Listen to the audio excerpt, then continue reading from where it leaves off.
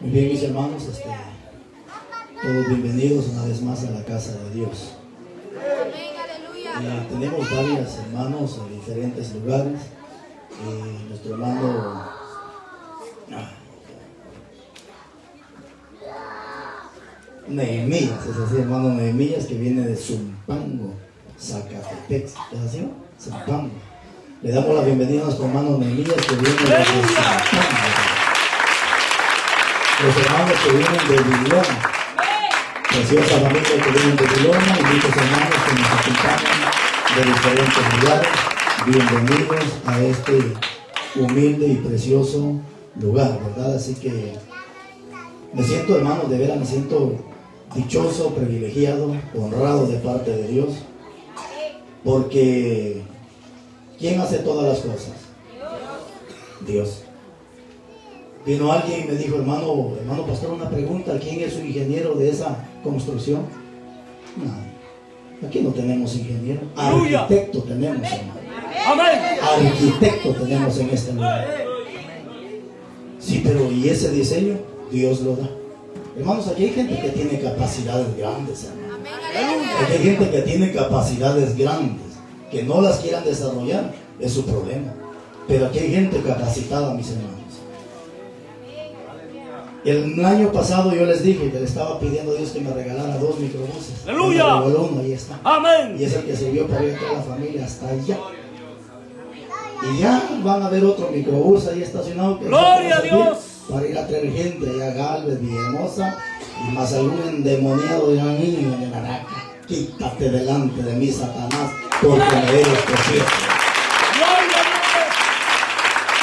El profeta dijo unas palabras, gente correrá a ti del norte y del oriente y te buscarán a causa de la palabra de Jehová. Así que no sea envidioso, deje que la gente venga a escuchar la palabra. Si vienen torcidos, aquí Dios los endereza. Si vienen en adulterio, aquí Dios los limpia. Si vienen con brujerías, aquí Dios los va a libertar. Y venga como venga, aquí Dios se encargará de hacer la obra con la palabra de Dios. Hermana Vilma, bienvenida a este lugar. Así que pronto estará toda la familia privada aquí. Póngase de pie y vamos a la palabra de Dios. Vamos a, a comer un rato palabra, hermano espiritual, porque después nos van a dar comida material. Evangelio de Lucas capítulo 6, 46.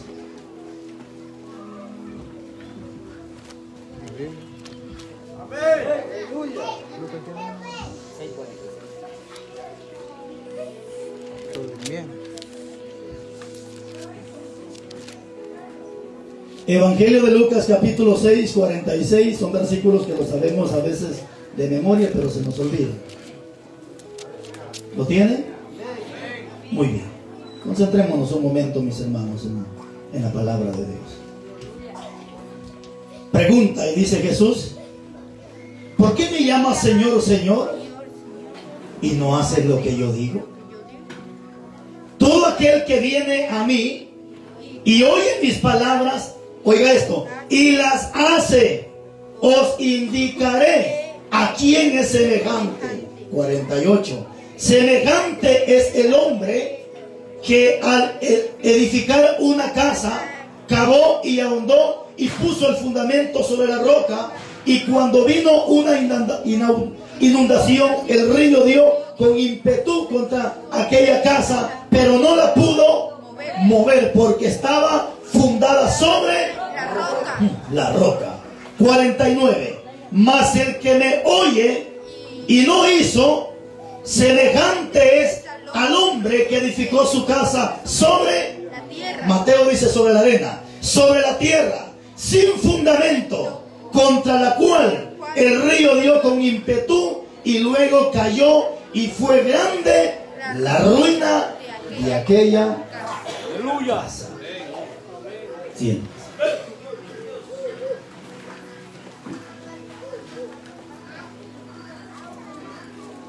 Gloria a Dios. Basado a tantas cosas que pasan alrededor, uno aprende, mis hermanos. Aleluya. Fíjese que nosotros los pastores se nos ha enseñado que aprendamos del que está en victoria y que también aprendamos de aquel cristiano fracasado. Nos han enseñado que no nos burlemos del fracaso de ninguno, sino al contrario, que nos entristezcamos cuando alguien fracasa en esta tierra. Pero la gente es lo contrario, ¿no? Se alegran cuando alguien fracasa. Gloria a Dios. Y siempre lo he dicho, si Pablo dijo llorad con los que lloran y gozaos con los que se gozan. Si la gente no quiere gozarse con los que se gozan, mucho menos va a querer llorar. Aleluya. que está llorando es mentira. Para que usted se goce con el que se goza o llore, perdón, con el que llora, primero tiene que gozarse con el que se está gozando. Gloria a Dios. Pero de lo contrario, aquel se está gozando, el otro le tiene envidia.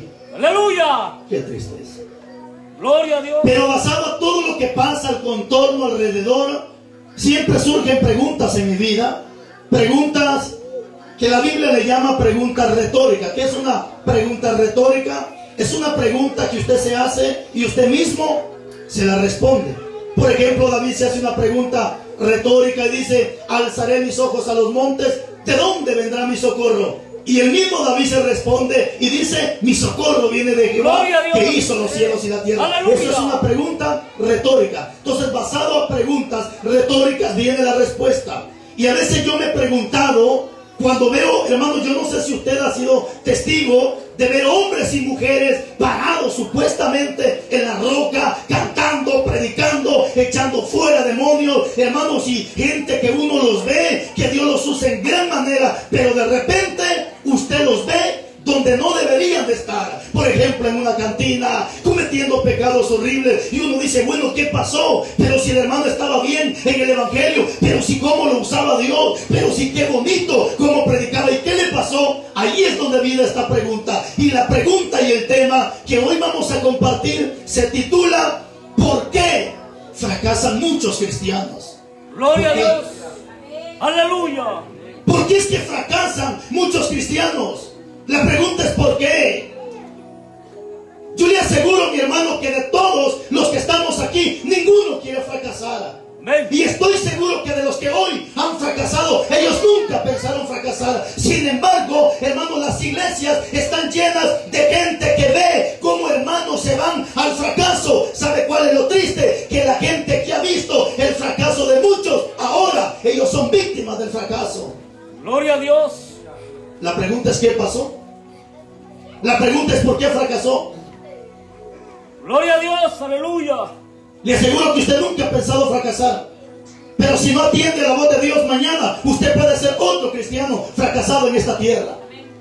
Y aquí Jesucristo nos da, la, hermano, nos da la respuesta, nos da la salida, nos da la preparación a nuestra vida espiritual. Y Jesucristo empieza hablando y diciendo, ¿por qué me Señor, Señor? Y no obedeces a lo que te digo. Aquí Jesús nos está dando la clave, que no basta con hablar de Dios, no basta con hablar de Jesucristo, no basta con hablar de la Biblia, no basta con hablar del poder y de los milagros de Dios, no basta. Necesitamos poner en práctica lo que nosotros estamos hablando. Las iglesias están llenas de gente que conoce Biblia, pero no practica Biblia. Usted hoy encuentra gente que le habla de esto, le habla del otro, pero mañana él está haciendo lo que le enseñó el hermano que no tenía que hacer. Ahí Jesús dice, ¿y por qué me llamas Señor, Señor? Si tú mismo no obedeces a lo que te digo. Gloria a Dios. Aleluya.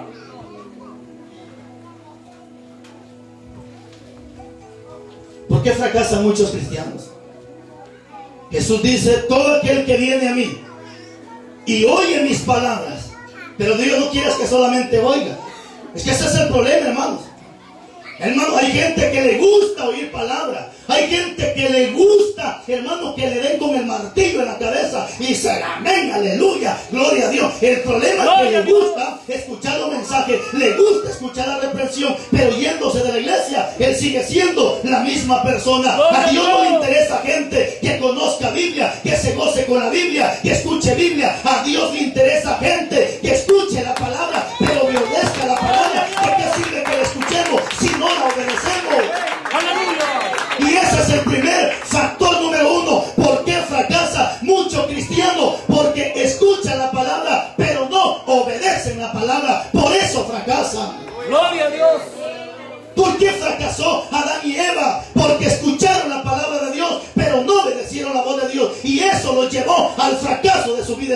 espiritual. Aleluya. Ahí tenemos ejemplos. Dios le dijo a Adán y a Eva, etcétera, etcétera, y le dio recomendaciones de qué debían de hacer y qué no debían de hacer. Pero ¿qué pasó? Escucharon la voz de Dios, pero no practicaron ni obedecieron la voz de Dios. Y ahí está el problema. Cuando la gente escucha la palabra, pero no obedece la palabra, es cristiano que va rumbo al mismo fracaso. Aleluya.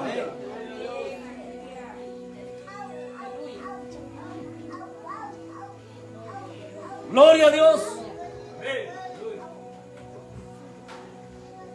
Hace tiempecito atrás tuve una gran experiencia.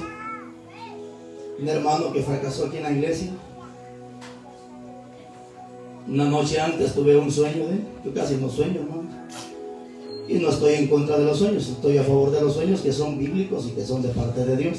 Amén. Porque estamos en últimos tiempos donde la profecía de Joel Aleluya. que cuya profecía la remata el apóstol Pedro en el capítulo 2 de Hechos, cuando dice en los últimos tiempos, Dios derramará de su espíritu sobre toda carne, sobre sus siervos y sobre sus siervas.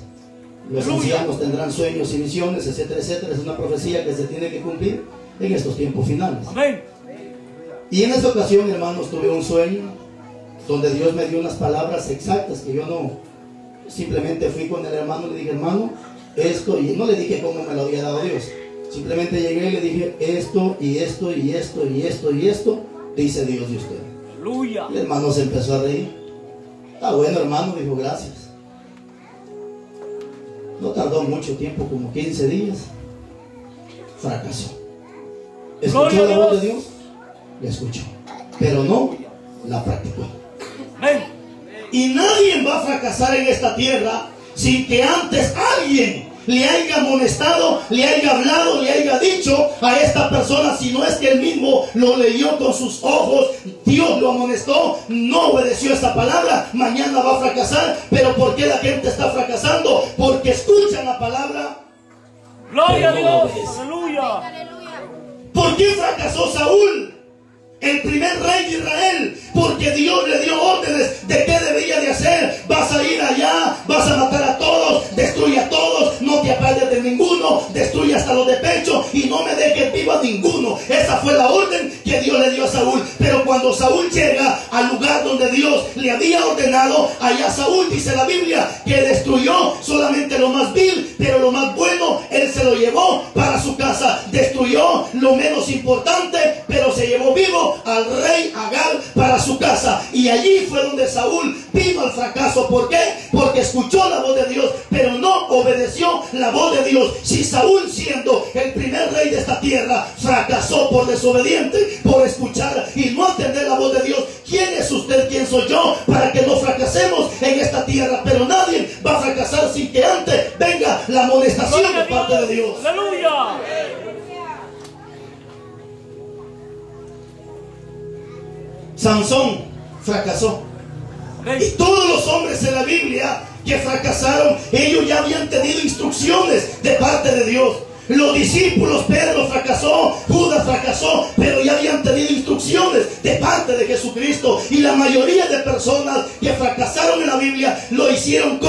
conocimiento. Amén. Gloria a Dios. Aleluya. Tal vez usted se recuerda de un hermano que también fracasó aquí. Predicó un tema bien bonito. Y Gloria a tomó como Dios. ejemplo José. Que José cuando vio el problema, huyó del problema. Aleluya. Y el tema estuvo muy excelente del hermano. Predicó, hermano, si usted mira el problema, córrase del problema. Mire, José corrió y no, qui- ah, no, qué bonito el tema, hermano. O sea, yo me gocé con ese mensaje y todavía lo llevo acá y lo llevo acá. Y el hermano predicó que cuando vieran los problemas, que mejor nos corriéramos de los problemas. Pero ¿sabe qué pasó? Saliendo el hermano, tuvo un problemita, agarra una piedra y le pega una pedrada a un muchacho allá afuera. ¿Y qué pasó con el muchacho? Fracasó. porque la palabra lo acusó? Que él mismo había predicado que cuando un problema viniera que se corriera. Pero él no practicó la palabra. Y ojo con esto, cuando la gente comete pecado, déjeme decirle que el pecado es vergüenza para la gente. Y si ¡Aleluya! mucha gente no quiere venir a la iglesia porque el pecado le es ¡Gloria a vergüenza. Capítulo 3, versículo 18 del Evangelio de Juan dice que el hombre que comete pecado pecado no viene a la luz porque tiene miedo que la luz le saque a luz el pecado que ha cometido. Cuando Adán y Eva cometieron pecado, se escondieron porque el pecado les era vergüenza para ellos. Y eso es lo que le pasa a muchos predicadores. Acaban de predicar cierto tema, pero ellos cayeron en el error. Hoy no quieren venir a la iglesia porque les da vergüenza que lo predicaron, pero no lo practicaron. Miren mi hermano, y a la gente se le hace más fácil irse de la iglesia para otra iglesia antes que asumir su responsabilidad y entender que si fracasó, el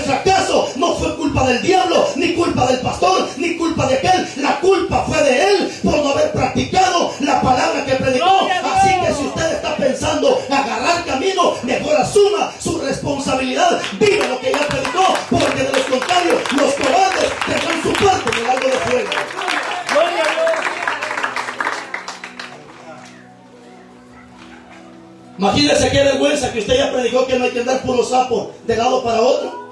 Y ahora usted va a andar de un lado para otro, puro sapo. ¿No sería vergüenza para usted?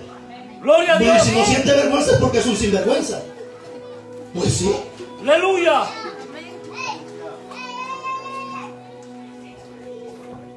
Gloria a Dios. Esta es la causa del fracaso de muchos cristianos. Escuchan la palabra, pero no la obedecen. Gloria a Dios. Y eso, va, eso, eso, hermanos, eso va rumbo al fracaso. Entonces tenemos el primer paso, el primer factor que está llevando cuánta gente al fracaso. Porque se olvidaron de lo que escucharon. Y Santiago, eh, ¿qué es? 1.22, si no estoy mal, dice que Dios no quiere oidores olvidadizos que se engañen a sí mismos, sino Dios quiere hacedores de la palabra. ¿De qué sirve tanto conocimiento si no practica ni lo que escucha, mucho menos lo que predica? Es una vergüenza que usted ya lo enseñó y ahora no lo quiere practicar. Eso es vergüenza. Amén.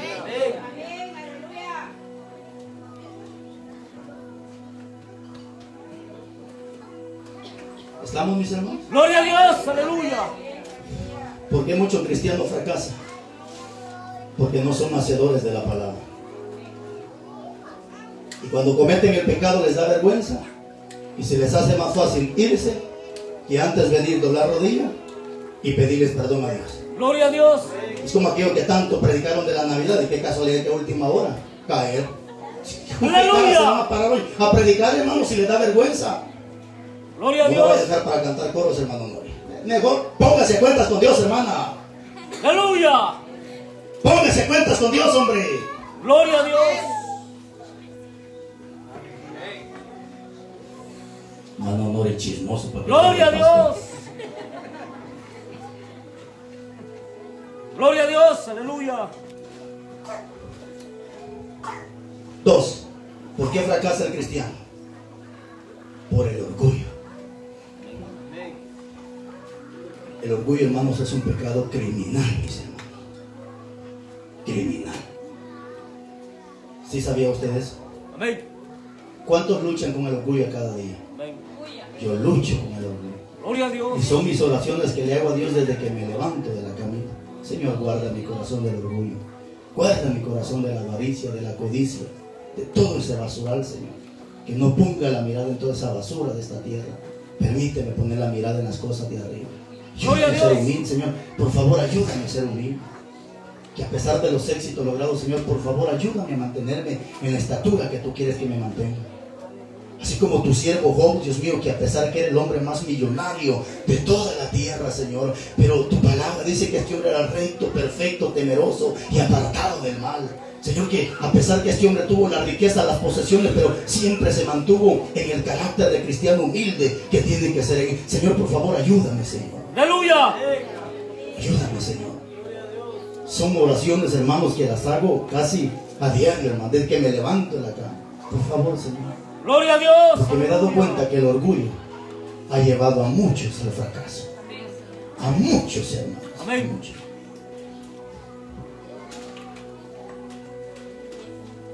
Ay, ay, ay. Aleluya, gloria a Dios. Capítulo 16 y 18 de Proverbios.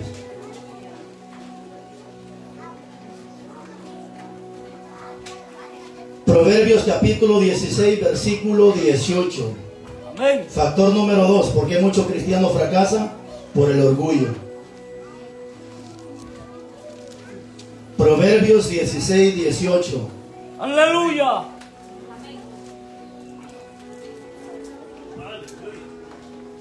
¿Estamos? Proverbios 16, 18. De mañana en adelante todos los del grupo van a poner sus sillitas aquí para que no se vayan para afuera. Se miran bien bonitos ahí, sentados ahí como están. Gloria a Dios. Y con Biblia, hermano. Están oyendo hermanos del grupo con Biblia, hermano. ¿Sí? Se miran bien bonitos. Yo he regañado a muchos hermanos del grupo que no andan Biblia y ojalá aquí todos tengan Biblia. Gloria a Dios. Capítulo 16, 18 de Proverbios dice su Biblia. Antes del quebrantamiento es la soberbia. Y antes de la caída, la altivez de espíritu.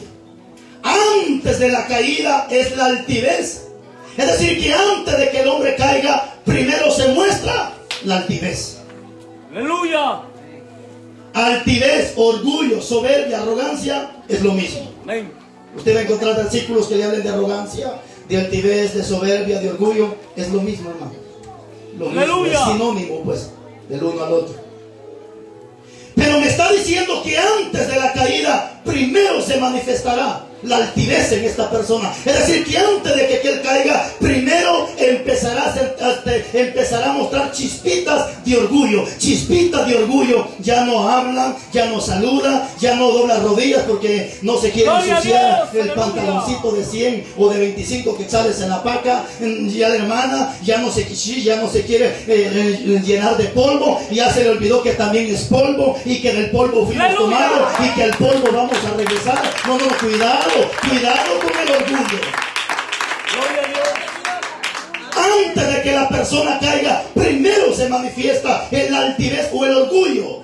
Amén, aleluya. Cuando ya hay orgullo en la persona, mis hermanos, el orgullo hace que la persona no entienda, no razone. Porque cuando hay humildad, el hombre razona, la mujer razona y dice, cierto hermano, es cierto. Yo fui Aleluya. culpable, hermano. Gloria Sí, a cierto, Dios. hermano, perdóneme, hermano. Que el orgulloso. Que ese no casa, no, hermano. Gloria a Usted le dé Dios. con el martillo en la cabeza. Hermano es negro, no hermano es blanco. Gloria a Dios. Aleluya. Hermano, pero mire, hermano, es negra la bocina, es blanco. El orgulloso todo el tiempo tiene la razón. El orgulloso nunca fracasa. El orgulloso para él nunca comete el error. El orgulloso todo él tiene la razón. Gloria a Dios. Aleluya.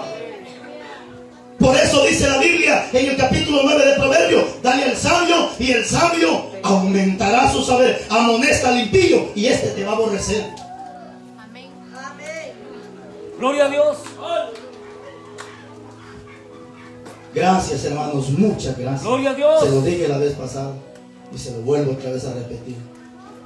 Bendigo a mis hermanitos que con humildad se me acercan y dicen, pastor, felicidades por los éxitos. Gloria a Dios. Aguante su Aleluya. corazoncito del orgullo.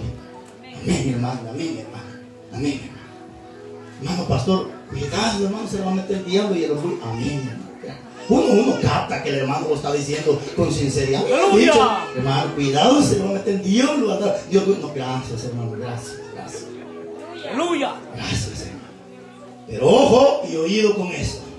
Mientras yo me guardo del orgullo, usted guárdese de la envidia. Aleluya.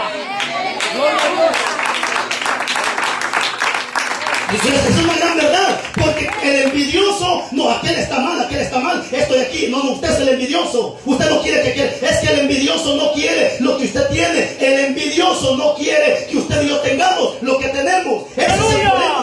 Envidioso, el envidioso Dios. solo él quiere tener, el envidioso solo él, quien no, no, pero no, hermanos, aquí no se trata de quién, aquí se trata que en la mano de Dios está el poder de la riqueza, y a quien él quiere, se la da, así que tranquilo, yo me guardo del orgullo, usted guárdese de la envidia. Porque así dice la Biblia, que en la mano de él está el poder de la riqueza y a quien él quiere. A mí no me hago riqueza, que yo me guarde, hermano. Gloria a Dios. Y si me da, pues yo le comparto a usted. Aleluya. Si me llama, yo le comparto a usted. Aleluya. Antes del quebrantamiento es la soberbia. El soberbio ya no ora, el soberbio ya no ayuna, el soberbio ya no dobla rodillas, el soberbio no ora ni cuando come, mucho menos cuando se cuesta, peor cuando se levanta. El soberbio ya no hace nada de eso, porque él cree que lo que hace lo hace por su fuerza, él cree que lo que tiene lo tiene por su conocimiento, mientras el humilde antes de acostarse dobla su rodillita, se levanta, dobla su rodillita, hacia aquello dobla su rodillita, porque él sabe que sin Dios nada podemos hacer, pero con Cristo todo lo podemos en esta tierra.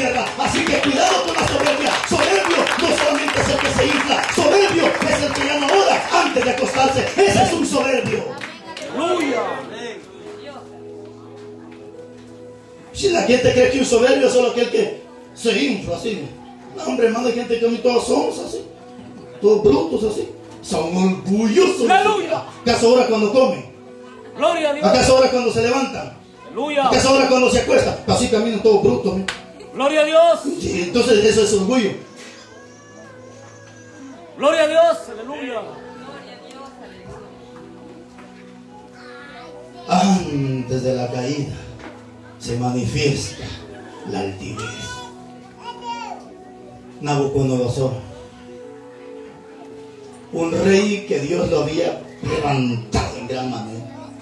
La gente dice que se inclinaba a Nabucodonosor. La gente llegaba con Nabucodonosor. Ahí estaba la gente inclinándose. Hermano, la gente llegaba. Y entre más este hombre le daba, Dios más grandeza le daba a Nabucodonosor. Y entre más este hombre se despojaba, Dios más prosperaba. Dios. más lo bendecía. Pero 12 meses antes es que Dios habla a tiempo y fuera de tiempo. 12, 12 meses que equivale a un año. 12 meses antes Dios le habló a Nabucodonosor a través de un sueño y le mostró un árbol grandote, grandote, cuya cúspide era desde la tierra y llegaba casi al cielo. Dios ya le estaba hablando que ese árbol era él que se había levantado, que Dios lo había prosperado, pero que el orgullo iba a entrar en él. Ya Dios le había hablado, ya Dios le había advertido. A los 12 meses dice que el hombre se paseó y dijo, no es esta la gran Babilonia que yo Gloria a Dios.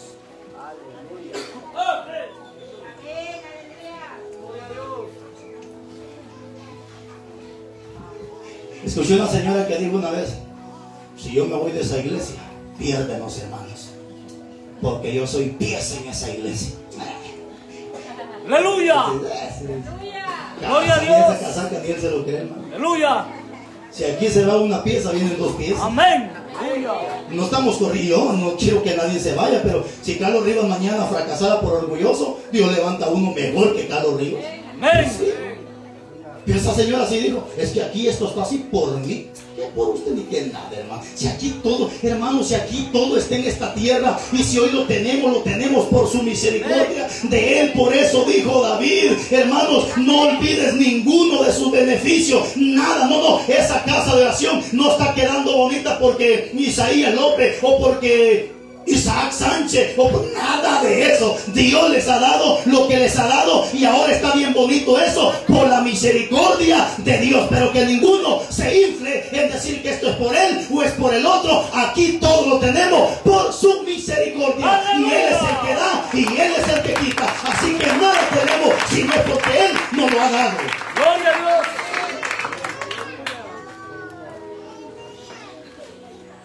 Y fracasó Nabucodonosor. Pero no solo eso, Nabucodonosor también tenía un problema, que era de doble ánimo. Por eso dice 1.8 de Santiago, que el hombre de doble ánimo es inconstante en todos sus caminos. Aleluya. Y Nabucodonosor era de doble. Por ratos usted mira a Nabucodonosor engrandeciendo a Daniel, dándole honra a Daniel,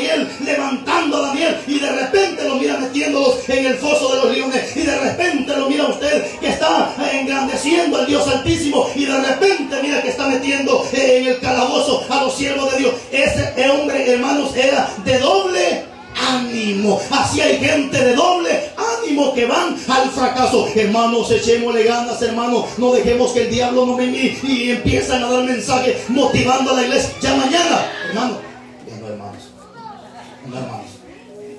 Sigan ustedes si quieren. Gloria a Sigan Dios. ustedes. Aleluya.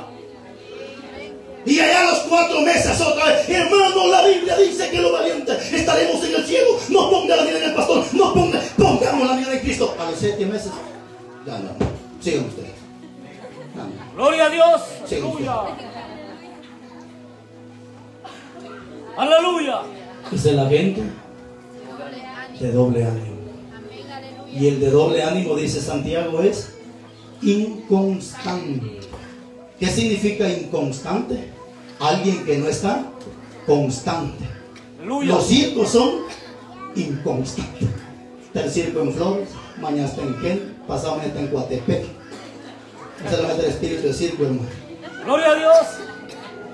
Los hermanos que ya estamos en este lugar, la mayoría venimos de diferentes congregaciones. Pero aprendamos ya a echar raíces, hermanos. Aleluya. Está bien, se vino por motivos, razones, circunstancias, está bien. La mayoría venimos de diferentes congregaciones. Amén. Pero de aquí nadie se va a ir, porque el que se va por cobarde, hermanos. Aleluya. Que se va por cobarde. Así que a aprendamos a hacer nuestra casa sobre la roca, edifiquemos la casa sobre la roca, vengan ríos, vengan vientos, venga lo que venga, usted se va a mantener porque su casa está fundada sobre la roca y nada ni nadie lo podrá mover porque los que confiamos en Jehová somos como el monte de Sión, que no nos movemos, sino que permanecemos para siempre. Termino con esto. ¿Por qué mucho cristiano fracasa? Por el descuido. Descuide la oración, descuide la lectura, descuide el ayuno, descuide la perseverancia y usted va para el fracaso. Aleluya. Mira este versículo bien famoso y conocido por todos nosotros que nos gusta leer un poquito la Biblia. Para ir terminando con esto, capítulo 24, versículo 40 y 41 de Mateo. Mateo 24, 41. Perdón, es 26, 51. Aleluya. Ven.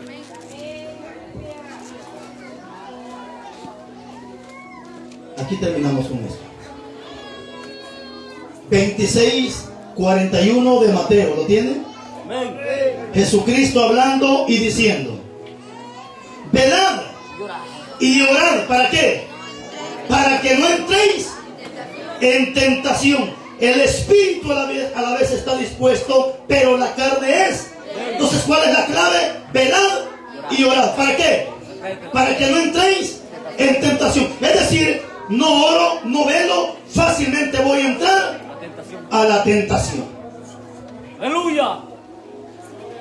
Manténgase en la oración, manténgase en la perseverancia, manténgase en la expectativa y usted no entra a la tentación. Si usted entró, es que hermano, ¿qué pa- mire hermano, qué problema con la gente que hoy el hermano está cantando que aquí, que allá y haciéndose un queso y la mitad de otra y de repente mañana fracasa. No, es que el hermano pastor, no, es que los hermanos de la iglesia, no, es que el diablo. Hermano, hay que estar culpando tal vez el diablo por Estados Unidos andaba y usted echando la culpa al diablo, hermano. Mire, hermano, si usted mañana tropieza, cae, hermano, no esté culpando a nadie. Usted descuidó la oración. Por eso dijo. Jesucristo, velad y orad para que no entréis en tentación. Así que si usted entró a la tentación porque descuidó lo primordial, Ven. no descuide su vida personal con Dios. Aleluya. Las diez vírgenes, mantu- hermano, ellas tenían aceite porque dice la Biblia que sus lámparas se estaban apagando y no podía una lámpara estar encendida sino porque tenía aceite. Pero ¿qué pasó? Se estaban apagando. ¿Por qué? Porque empezaron a descuidarse, empezaron a descuidar, empezaron a descuidar hasta llegar. Hermano, es que si usted descuida, perdón hermano, pero así usted no va para el cielo. Porque estas muchachas se quedaron. ¿Por qué? Porque se habían descuidado.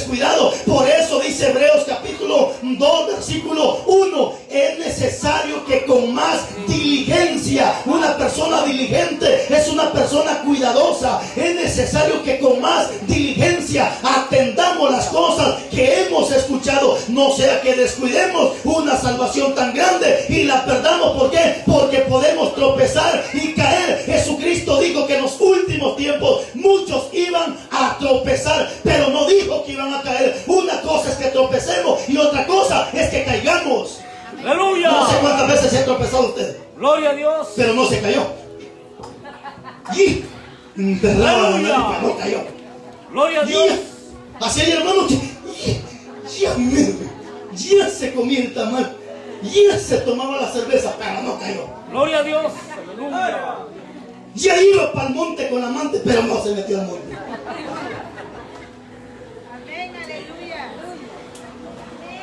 Ya, ya, Gloria a ya, Dios. tropezar y se pero no, pero así le ha pasado mucho que y hemos estado tras, tras y cruzamos las patas, pero no caímos y, y Aleluya. metimos la mano y no caímos. Gloria a Dios.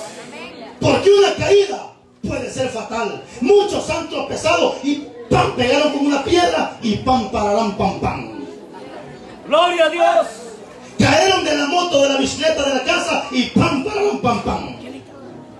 Gloria a Dios. Una caída puede ser fatal. Jesucristo dijo que íbamos a tropezar, mas no dijo que íbamos a caer. Amén. Porque si usted ya cayó, el problema ya no es de nadie, el problema fue suyo por aguado. Gloria a Dios. Aleluya. Yo que los niños cuando están aguados, cada rato van cayendo. Y así hay viejos que cada rato caen, cristianos aguados, hermano. Vitamina, ayunol 500 Gloria a Dios. y oración 1000. Aleluya. Por eso las vírgenes fracasaron, porque descuidaron, sus lámparas empezaron a apagarse. Este cristiano que ya se le está apagando la lámpara, es cristiano que ya está diciendo, bye bye a Rivershi. Gloria a Dios. Aleluya.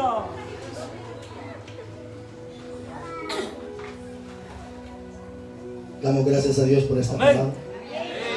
Son tres pasos importantes que los puede llevar al fracaso. No importa que sea pastor, evangelista, maestro, pero si descuida todo esto, va al fracaso. Aleluya. Póngase de pies, hermano lindo, vamos a orar. No sé si por ahí está hermana Cata, hermano Ernesto. Ellos decidieron hacer un culto de acción de gracias y vamos a hacer una oración por ellos. Así que invitamos a los hermanos que pasen, vamos una vez a orar para quedar despedidos. Si usted quiere pasar, le dar un abrazo a hermano Neto. Ojalá Aleluya. hermana Cata no sea celosa. Y si le quiere un abrazo a hermana Cata y ojalá también el hermano no sea celoso, pase. Entonces pasen hermano, vamos a, a orar.